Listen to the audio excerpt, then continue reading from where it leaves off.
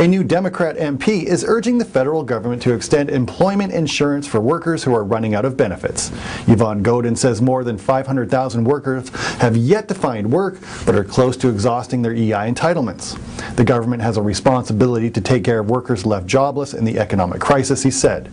People shouldn't be forced onto welfare because they've run out of EI time, he added. The New Brunswick MP says the government has spent billions to help corporations through economic hard times, and it should be prepared to do the same for workers. Bolstering EI might cost a few billion, Godin said, but we're going to have a deficit anyway.